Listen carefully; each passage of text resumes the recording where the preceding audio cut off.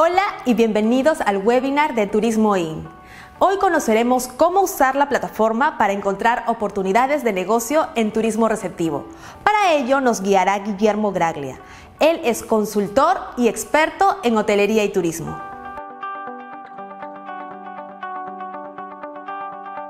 Hola, bienvenidos a nuestro webinar analizando oportunidades de negocio en turismo receptivo con la plataforma Turismo In. El día de hoy vamos a conocer un poco de qué se trata este, este mercado del turismo receptivo. Vamos a conocer algunas características particulares de cómo se comportan y sus características.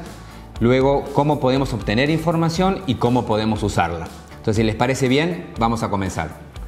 Primero, ¿por qué el turismo receptivo es importante para el país? Y fundamentalmente, ¿qué es?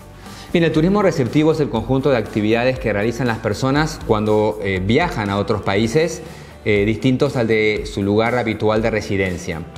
La estadía debe ser como mínimo de una noche y como máximo de un año y su motivo principal de viaje no debe ser remunerado. Estas son las características principales que tipifican a un turista eh, receptivo. Con respecto a la importancia que tiene como mercado, fíjense que a nivel mundial 1.403 millones de llegadas se han registrado en el año 2017, según el barómetro de la Organización Mundial del Turismo.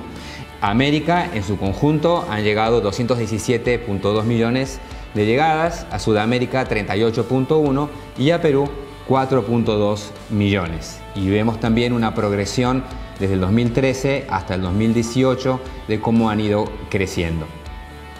¿Cuáles son las perspectivas de crecimiento? En el año 2008 el turismo receptivo en el mundo se incrementó un 6%, mientras que en América creció un 3%. En el Perú creció un 10% con respecto al 2017 y también para el 2019 las previsiones de crecimiento, según la Organización Mundial de Turismo, son entre un 3 a un 4%. ¿Cómo es el turista extranjero que visita el, Perú? Es una persona que viaja por diferentes motivos y diferentes características. Tenemos variadas formas de clasificarlo e identificarlo. Una de ellas es el que viene por vacaciones, el turista de negocios, pero que si viene a ser remunerado ya no sería específicamente un turista como lo hemos aclarado y definido hace un ratito. Luego tenemos lo que es turismo de frontera, nuestros dos principales mercados, Ecuador y Chile, por el norte y por el sur. Y tenemos también algunas clasificaciones que podríamos analizar más en detalle como el mejor perfil o el mejor prospecto de turista o de vacacionista, que es aquel que gasta por lo menos mil dólares o más durante su estadía al Perú, el que viene a realizar actividades de aventura y el que viene a realizar actividades de naturaleza.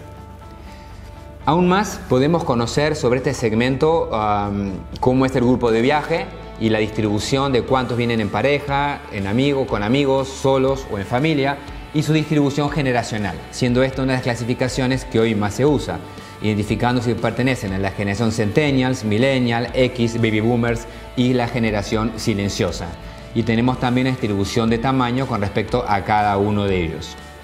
Otras motivaciones que podemos utilizar para conocer a este mercado es si viene por vacaciones, por negocios, visitas a familiares y amigos o a participar en seminarios, congresos y eventos. De esta manera hemos identificado algunos grupos generales, pero también tenemos otros que se denominan turismo de especialidad. Son mercados más pequeños, pero que están motivados por alguna, algún interés particular que tengan, como puede ser deportivo, en el caso de los surfistas, ciclistas de montaña o trekkers. Y estos son también mercados que deberíamos considerar y analizar cuando estamos pensando en identificar oportunidades de negocio. Ahora, ¿dónde puedo conseguir esta información? Hemos, recorrido alguna data importante sobre cómo eh, se describe y cómo se comporta este, este mercado. Pues esta información está toda disponible en la plataforma Turismo In. Es una, una herramienta extremadamente útil que hoy vamos a aprender a conocer para identificar esas oportunidades de negocio para nuestros propios eh, mercados. Ahora, ¿qué es Turismo In? Esta es una propuesta de PromPerú que lo que busca es capacitar y brindar información relevante y especializada al sector. ¿Sobre qué? Sobre turismo o demanda local y demanda mundial. Su objetivo fundamental es fortalecer la competitividad de las empresas que lo utilizan y en realidad de cualquier usuario. Esta es una plataforma que está disponible no solo al sector empresarial, sino también a estudiantes, consultores, funcionarios públicos que pueden acceder a conocer más sobre lo que es el comportamiento de la demanda turística en nuestro país. Entonces, si les parece bien, esta es la visión general que tiene la, plataforma cuando ingresamos y vamos a ir directo a, a navegarla y conocer las partes que tiene. Síganme. Y fíjense que la primera entrada nos da un pantallazo general de información variada y también aquí en el extremo superior nos invita a acceder y a registrarnos. Si no lo han hecho nunca se pueden registrar, si no pueden acceder. ¿Qué les permite acceder con su propio usuario? Pues bajar las informaciones que están consultando en sus propias computadoras y luego poder tener el informe disponible sin necesidad de estar conectado al Internet. Entonces revisemos un poco cómo se navega por la página y qué tipo de información podemos encontrar. Pues tenemos aquí, si se fijan, arriba un banner, una primera línea donde tenemos pestañas, en donde encontramos en la primera cifras turísticas. Aquí tenemos información sobre los mercados internacionales y los mercados nacionales. En este, en este caso lo que vamos a poder identificar son las ciudades emisoras de turismo a las regiones, al interior del país. Si entramos a esta pestaña y como estamos analizando turismo receptivo nos vamos a enfocar en los mercados internacionales, podemos encontrar una imagen del mundo, podemos seleccionar el año que quisiéramos buscar información, tenemos en este caso del 2017, 2016, 2015 y, podemos ver los países, algunos este, identificados más abajo por su nombre y también por color. Y si queremos conocer algún comportamiento de ellos, digamos que nos interesa, bueno, Brasil está aquí, pues cliqueamos Brasil y nos abre el reporte eh, resumido de las características de este mercado. Nos da primero, aquí arriba, información general que tiene Brasil como mercado, como país y como mercado turístico eh, internacional. Sus indicadores principales de cómo se comportan eh, turísticamente y luego para Perú, ¿qué representa? En este caso, en el 2017 tuvimos 173.753 eh, llegadas o viajes de brasileños al Perú que representaron 154.8 millones de dólares de gasto generado. Y luego nos da indicadores resumidos de cómo es el perfil, de dónde vienen, la principal ciudad, 22% San Pablo, si usan agencia de viajes o no, el tiempo de planificación. Es decir, rápidamente en una sola página podemos tener un primer acercamiento a este mercado. Y luego en descargables tenemos reportes ya más profundos que podemos eh, analizar y que podemos, como dice el nombre, descargarlos y tener algo más de data en profundidad para diseñar productos turísticos o campañas o algún plan comercial si este es el mercado que nos interesa. Como hicimos con Brasil, podemos hacer con cualquier país de los que están acá identificados, que son los que se han priorizado y que tenemos información para usar. En Conoce al turista extranjero, la segunda pestaña, lo que encontramos es el perfil de turista extranjero. Este es, el, este es un reporte espectacular en cuanto a información muy completo que nos da información general sobre el turista extranjero, pero luego lo va segmentando en sus diferentes grupos. Lo podemos descargar o verlo en línea con esta pestaña que dice ver más. Y luego podemos tener acceso directo, según las pestañas que vemos acá abajo, el lugar que visitan, el país de residencia. Fíjense cómo va cambiando la información, el motivo de viaje, vacaciones, negocios, visitas familiares puntos de salida y o región de procedencia. De esta manera accedemos aquí a la información en profundidad del mercado del turista extranjero que estamos analizando.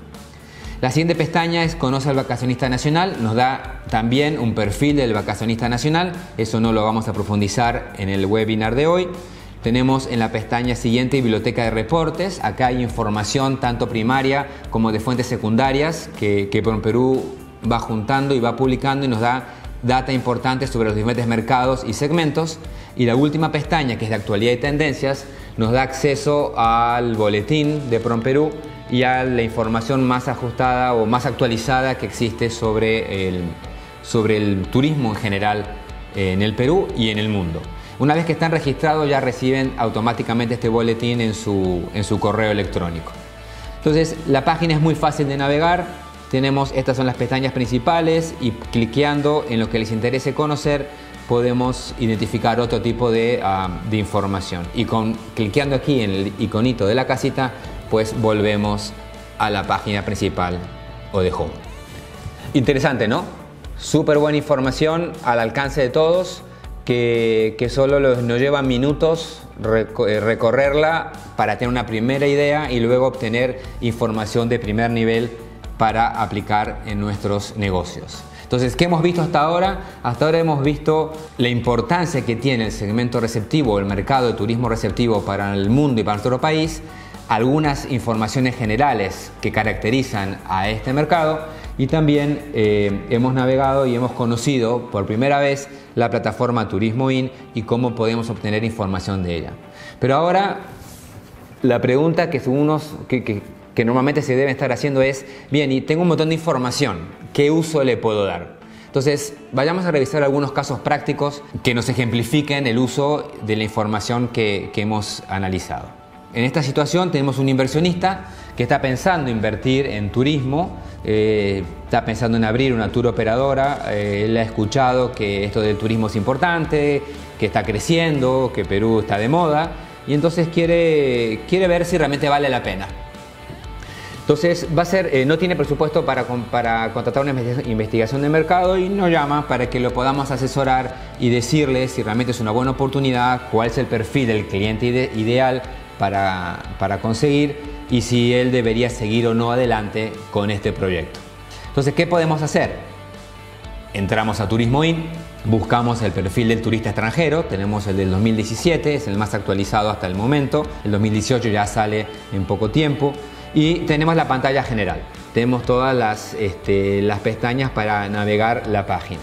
Entrando al perfil de turista extranjero, podemos identificar fácilmente las principales características que este mercado tiene. Por ejemplo, cuántos son hombres, cuántos son mujeres, su estado civil, de dónde vienen. Fíjense que tenemos la procedencia más alta proviene del mercado anglosajón, que está comprendido por Estados Unidos, Canadá y el Reino Unido. Y luego tenemos también segmentado por edad y podemos también tener una, idea clara de cómo está distribuido el mercado en función a las generaciones que habíamos analizado hacia, unos minutos atrás. ¿Qué más podemos identificar? Podemos averiguar fácilmente cuáles son las ciudades que más visita y tenemos el top 5 de las ciudades visitadas cuando vienen al, Perú y luego cuál es su preferencia con respecto al tipo de hospedaje, desde hoteles de 4 o 5 estrellas hasta camping. Vamos más allá con información y ya entramos a un ámbito comportamental y podemos identificar cómo planifica su viaje.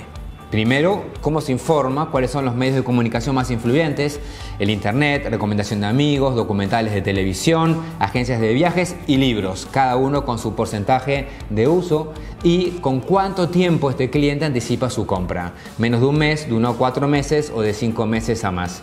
Ya empezamos a tener una idea más clara de cómo se comporta este cliente y de si quisiéramos hacer una, campaña, cómo deberíamos hacerla y con cuánto tiempo antes había que planificar y lanzarla al mercado.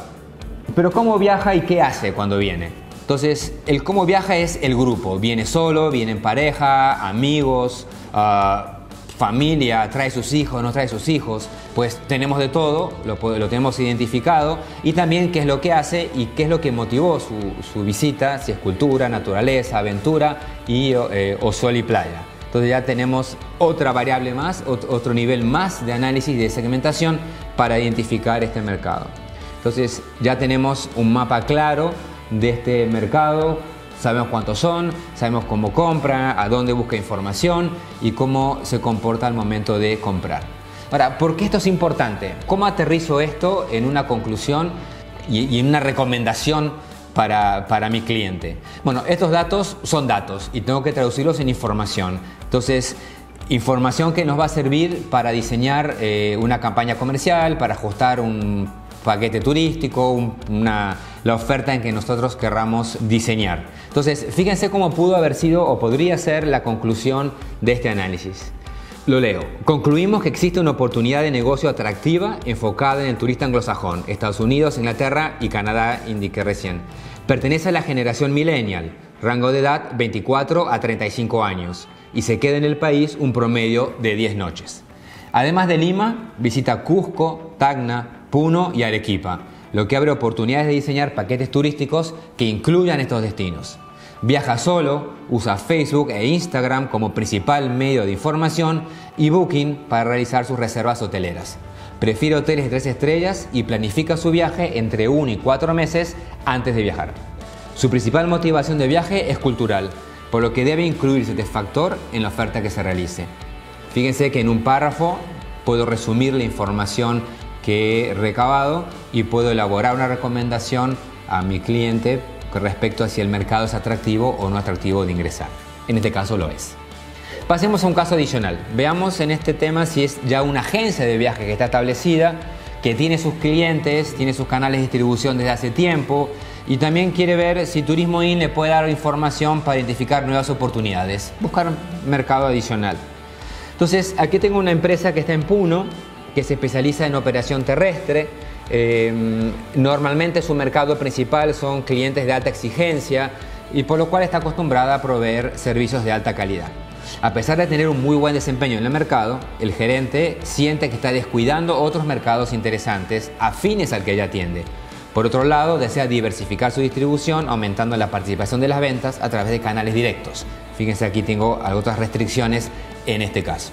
Entonces, este gerente de vuelta ingresa a Turismo In, va al perfil del turista este, extranjero, quiere ver cuántos son, descubre ahí que el, mercado más grande que tenemos es el que viene de Estados Unidos, eh, casi 600.000 personas de este país nos visitan, eh, le parece interesante porque está acostumbrado a manejar este perfil de clientes y quiere saber un poco más, entonces ingresó al resumen para este país, ve cuántas personas son, cuánto gastan, eh, cuánto gastan en, nuestro país cuando vienen de vacaciones y qué regiones visita. Y descubre que Puno está en cuarto lugar. El 19% de estas personas visitan Puno.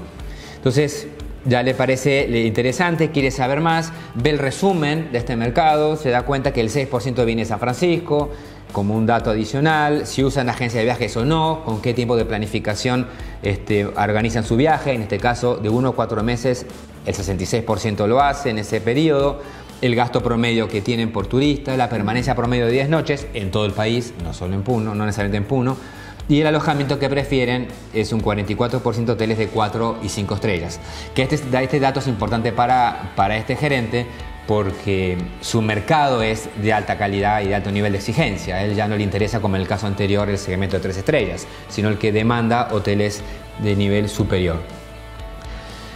Él también tiene acceso a través de la plataforma Turismo In a una ficha como la que ven aquí, en donde hay ya más detallada información sobre eh, la cantidad de llegadas, eh, por dónde ingresan, el punto de ingreso al país, a qué generación pertenecen, fíjense aquí abajo nos señala son centennials, millennials, generación X o baby boomers, ¿no? las ciudades que visita, se queda contento, Puno está en las top 3 para este mercado y además tiene una serie estadística de 2013 o histórica, de 2013 al 2017 para poder hacer un análisis y hacer algún tipo de proyección si quisiera eh, hacerlo y tener alguna estimación futura de cantidad de llegadas. ¿Por qué esto es importante? Vamos de vuelta a aterrizar esta, esta data en información que puede aplicar. Fíjense, el análisis desarrollado por este gerente le permite identificar que, hay que el segmento de turistas que vienen de Estados Unidos es atractivo al menos para el país y para eh, su empresa, porque representa casi 600.000 personas al año, de las cuales 19% visita Puno. Estos son 113.750 turistas, casi 114.000. De este total, su segmento compatible, lo que siente que es más afín a él, es la gente un poquito ya mayor, de 50 años o más, por lo cual él selecciona del mercado total a los baby boomers, que es el 28%, y a la generación X, que es el 21%. Estos son todos los de 50 para arriba. Y su mercado potencial entonces, filtrando estos 113.050 por 28 y por 21, le da que su mercado potencial que tiene son 55.735 personas al año. Entonces, a partir de este, de este dato, puede desarrollar este objetivo comercial. Por ejemplo, desarrollar el canal de venta directa online para captar el 10% del segmento de turistas estadounidenses mayores de 50 años para fines de 2019. Tiene así claramente un objetivo bien redactado, que es específico, es concreto, tiene un horizonte de planeamiento para cumplirlo eh, y, está cuantificado. De esta manera puede accionar, puede desarrollar su plan comercial, medirlo, evaluarlo y tener éxito. Y tuvo fácilmente de esta manera la posibilidad de hacer más competitiva a su empresa. Resumiendo, ¿para qué vimos todo esto? ¿No? Después de estos ejemplos, de la información que hemos que hemos revisado y de que espero que, después del webinar ingresen a la página, la revisen y vean toda la información que les puede ofrecer. ¿Qué mensaje les dejaría para finalizar? Bueno, que todo se reduce a ser más competitivos en el mercado. Estamos en un ambiente más complejo, hablamos de ambientes de hipercompetitividad, el turismo es una actividad de crecimiento en todo el mundo, pero también que hay que estar eh, bien enfocado y hay que conocerle las herramientas que hay en el mercado para poder ser más eficientes en los esfuerzos que hacemos y en las inversiones que realizamos. Entonces, la acción competitiva fundamentalmente consiste en conseguir la lealtad del cliente o desplazar a la competencia. ¿Y cómo lo logramos? Fácilmente es identificando cuáles son los puntos fuertes, reforzándolos, invertir en ellos, abrir nuevos frentes de combate, como una metáfora de abrir nuevos mercados, crecer, porque si no crecemos nos vamos achicando año a año, eh, desplegando actividades innovadoras antes que la competencia, sorprendiendo al cliente, si lo que queríamos era conseguir su lealtad a través de la innovación, es una herramienta importante para, para conseguirla y para tener más mercado. Y esto se consigue fundamentalmente con información, con información de mercado, acertada, actualizada, eh, ajustada a mis necesidades. Y esto es lo que nos ofrece la plataforma Turismo In. Espero que les haya gustado y aquí estamos a su disposición para lo que pudiésemos ayudarlos. Gracias. Gracias por tu atención. Ahora ya conoces la utilidad de la plataforma Turismo In para encontrar oportunidades de negocio. Nos vemos en el próximo webinar. Hasta luego.